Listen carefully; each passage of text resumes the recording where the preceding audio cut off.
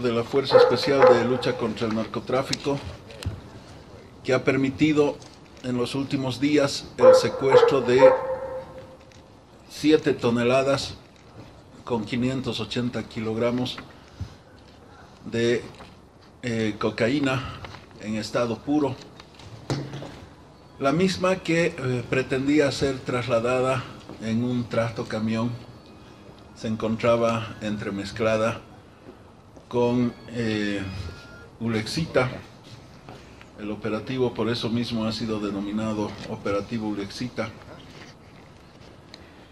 Esta mezcla de sustancias mineras que tiene diferentes aplicaciones en la industria para los eh, parabrisas de vehículos eh, y para la pintura y otras aplicaciones. El traslado se estaba haciendo eh, a cargo de una empresa, una empresa eh, que cuenta con, con las licencias correspondientes, se denomina Boro Brasbol, es una empresa dedicada a la importación, exportación de diferentes eh, materiales.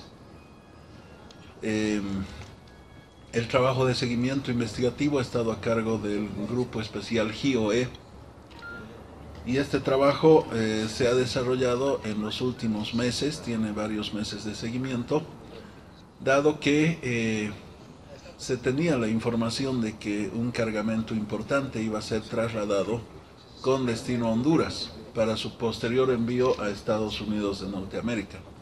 Sin embargo, eh, establecer el procedimiento, la empresa, ese fue un trabajo bastante intenso que eh, se, está desarrollando exitosamente a partir de este operativo. Todavía está en curso de investigación dar con el paradero de los titulares de la empresa Boro Brasbol, el señor Erlando Taborga. Eh, Tres personas han sido aprendidas, dos domicilios particulares han sido allanados, una oficina de la empresa también ha sido allanada, eh, dos aprehensiones se han producido en la ciudad de Santa Cruz y una aprehensión en la ciudad de Cochabamba. Las personas aprendidas responden a los nombres de David Elías Suárez Carballo, Luis Fernando Suárez Suárez y José Manuel Pérez Murguía. Eh, estas personas tienen una relación directa con esta eh, empresa de comercialización. Estamos hablando eh, del abogado, representante legal, cuyo NID figura en los documentos de la empresa y de otras personas que han tenido gestión directa en las actividades de esta empresa. Eh, se trata del cargamento más importante em, para su determinación. Una vez interceptado este trasto camión, eh, a la altura de la localidad de Patacamaya, fue trasladado al centro aduanero de la ciudad del Alto. Em, allá se hicieron las verificaciones correspondientes. Tanto eh, la prueba de narcotest que ha dado positivo, como eh, la solicitud de la presencia de detectores de canes.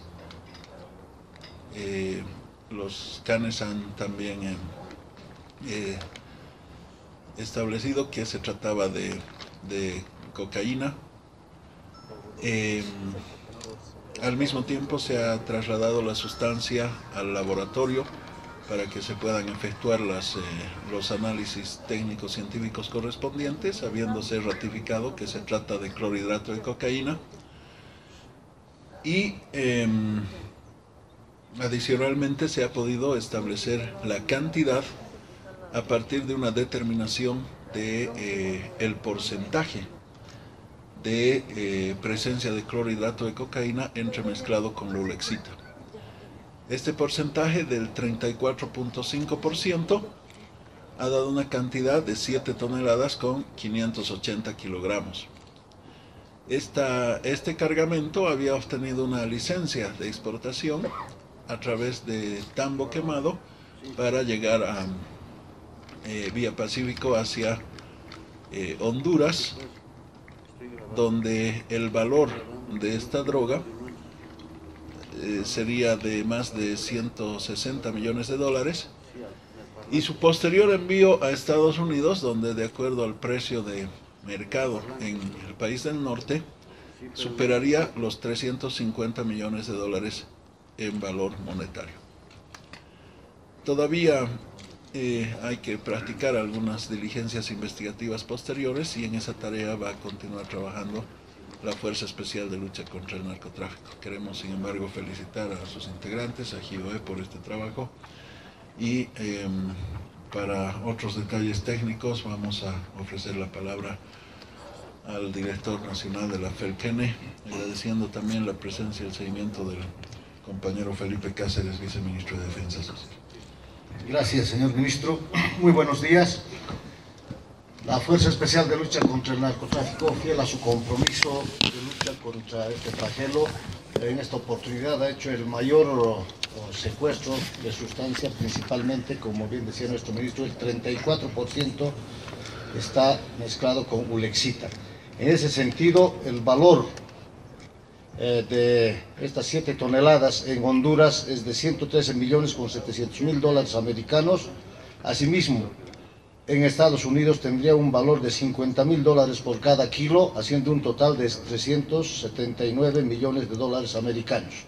En estos momentos vamos a hacer la demostración técnica científica y asimismo personal de CANES de la Fuerza Especial de Lucha contra el Narcotráfico va a hacer su, su trabajo.